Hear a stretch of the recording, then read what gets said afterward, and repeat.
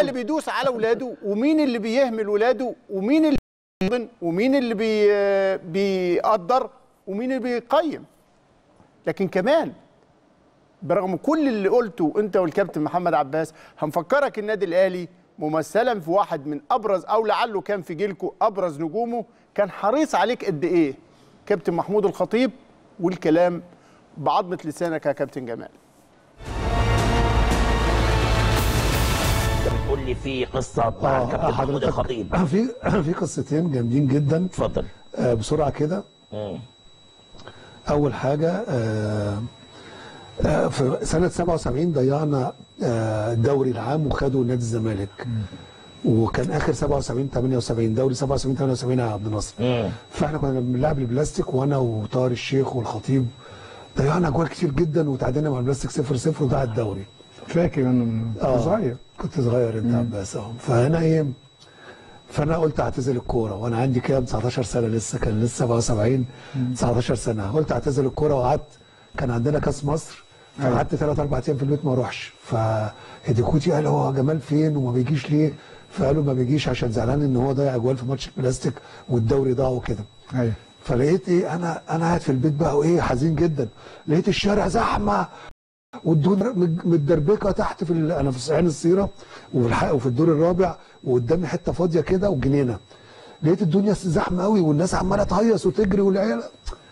فبس فببص من الشباك كده لقيت الخطيب جاي بعربيته وشافوه من أول دخول عين السيرة وبيجروا وراه. طبعا الخطيب كان بقى إيه عندليب الكرة المصرية طبعا.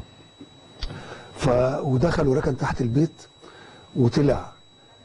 فانا استغربت الخطيب بنفسه جاي لي لغايه البيت شوف بقى أنا بلعب راس حربه وهو راس حربه. ده مهم جدا الحكاية دي. فدخل امي طبعا رحبت بيه ووالدي وكده والدنيا بقى زحمه وفوق ومفيش صور بقى كان زمان في صور مفيش موبايلات. كله عايز يسلم اوتوجراف يسلم اوتوجراف المهم فلا حق بيقول لي انت فين؟ قلت له أنا خلاص بقى بطلت كورة. وأنا كنت لسه ما لعبتش 10 ماتشات 9 ماتشات. قال لي انت خايب. بطلت كورة إيه يا ابني؟ انت بكرة هتضيع وبكرة هتجيب وبكرة هتكسب دوري وبكرة هتخ... يا ابني الكورة فيها كل خلاص بقيت لعيب كورة.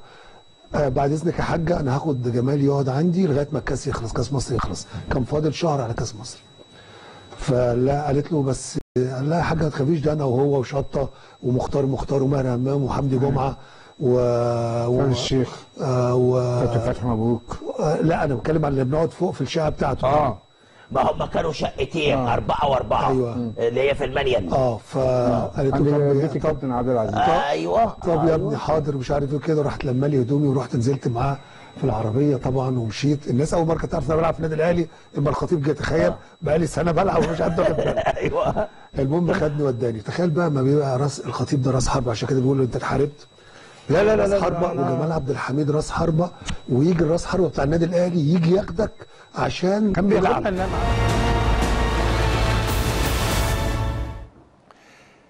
شفتوا الأهلي بيدوس على أولاده إزاي يا كابتن جمال؟ شفت الأهلي بيضيع لعيبته إزاي؟ شفت الأهلي ما كانش حريص عليك قد إيه؟ شفت الأهلي وقف جنبك قد إيه؟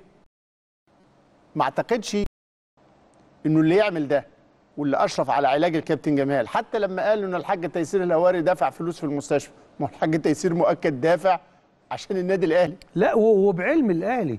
وبعلم. الحاج تيسير ما كانش يطلع مليم إلا إذا اتقال الأول استأذن وقالوا له.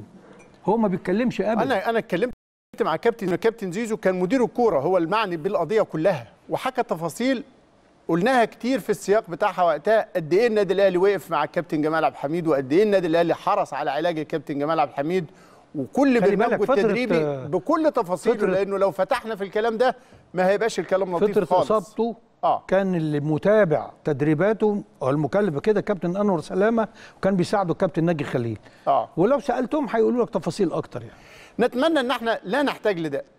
فقط كنا بنحاول الحفاظ على القيمة والدفاع عن واحد من أهم خصال وسمات النادي الأهلي. وفاءه لعيبته احترامه لأبنائه حرصه عليهم. وشفتوا ده بعظمة لسان نجوم كتير جم من الزمالك للأهلي وكنا حرص الجزئية دي بالذات. لما بين الناديين من علاقة وقيمة؟ مش تقليلا من نادي الزمالك على الإطلاق إنه يجي حد زي كده رغبة في ان هو يستميل حد أو يكسب ود حد أو تعاطف حد أو يتقرب من حد فيبدأ يحدف طوب على الضفة الأخرى من النهر. أعتقد الكلام واضح جدا ونتمنى إن الصورة تكون وضحت حتى لا نضطر للعودة فيها. لمزيد من كلام أعتقد مش هيبقى لطيف. إذا كانت هذه هي محاولة لاستجلاء الصورة فالجزء